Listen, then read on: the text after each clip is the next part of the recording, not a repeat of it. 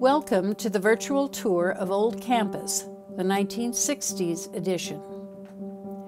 The one word that always surfaces when talking with students at Valpo during the 1960s was tundra.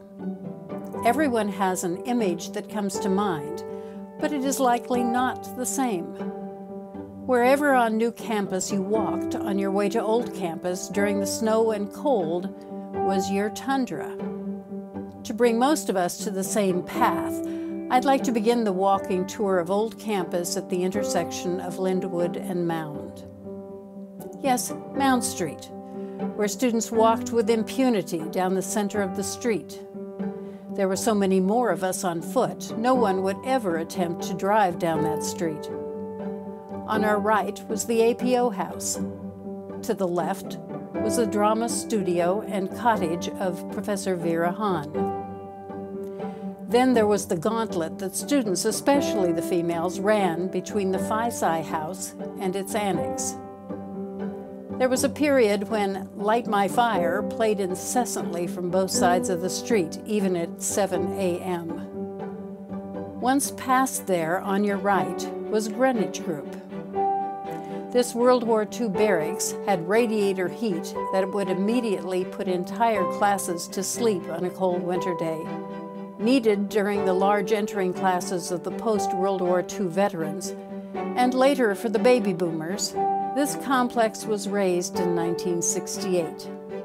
The entire length of Mound Street would be transformed at the end of the 60s with the construction of six fraternity houses. That particular subject, Greek housing and dormitories, will not be included here. Immediately across Greenwich Street from Greenwich Group was Lembke Hall. Lembke was named for its local architect and had been a student dormitory. Later, it was mainly faculty offices. The story goes that the building was condemned for human habitation, so students were moved out and faculty were moved in. Crossing Greenwich Street, a sidewalk was situated along the west side of Kinsey Hall. Kinsey Hall was built in 1906 and served as a combination of administrative offices and music practice rooms. A fire in 1970 would render the building unusable. O.P. Kretzmann had his office in this building. Connected to Kinsey on the south side was Bogart Hall. Bogart was built in 1892 as a printing office the classrooms on the upper levels of this building might be remembered for the many flying insects that inhabited the room once the weather warmed and the windows were opened. On the west side of the sidewalk was the faculty club, with a classroom on the upper level. On the west side of the faculty club was the campus bulletin board. And yes, students did actually stop to read what was posted there. Continuing on the sidewalk, you could look slightly to the left and see the two great brick structures known as Baldwin Hall on the left and Heimlich Hall on the right. The student kissing bridge that crossed the railroad tracks was located on the east side of Baldwin. The kissing bridge was still a very important piece of student life during the 60s. Classes in Baldwin, and here you can import your most memorable classes, one might be Dr. Kautz's Western Civ class, another Oliver Smith's General Chemistry for Engineers. They paused for every train, and when the train was passed, students were invited to pick up their chairs and move them back to where they had been. Heimlich Hall was the home of the biology labs and became the home to WVUR. Scanning south across the lawn that served as the site of many outdoor commencement exercises, there are three objects of interest. First is the flagpole. This pole marks the center of the original college building. That building was started in 1860 under the Valparaiso Male and Female College with significant additions in 1867 and 1880. A fire destroyed that building in 1923. A second feature is the bullpen. A gift of the class of 1936, this structure was built from paving bricks from an extension of Locust Street that had been named College Place. At the time of construction, it was identified as a council seat or summer classroom. Later, it became known as the bullpen, where pinning ceremonies were held. Though not visible when scanning the area, students will remember the tombstone in memory of George, our faithful campus dog, 1937 to 1947.